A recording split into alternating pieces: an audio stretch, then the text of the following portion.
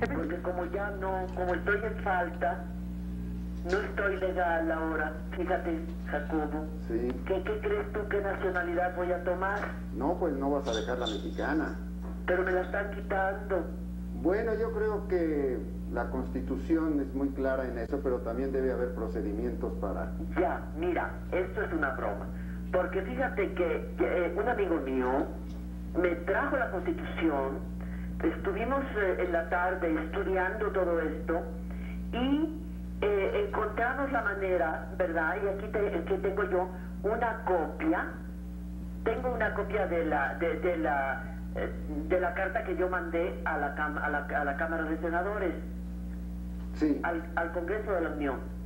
O- eh, esa carta fue enviada hoy. Yo, yo la envié. Sí. Te diré que te doy la copia y entonces encontramos este artículo, fíjate. Dice, a- artículo que en su fracción B, inciso cuarto, a la letra dice, por admitir del gobierno de otro país títulos o funciones sin previa licencia del Congreso Federal o de su comisión permanente, exceptuando los títulos literarios, científicos o human- humanitarios que pueden aceptarse libremente. Entonces esto me pone legal. Ah, pues sí, porque esta es una, una cosa de tipo cultural. Claro, porque es una cosa de tipo cultural completamente.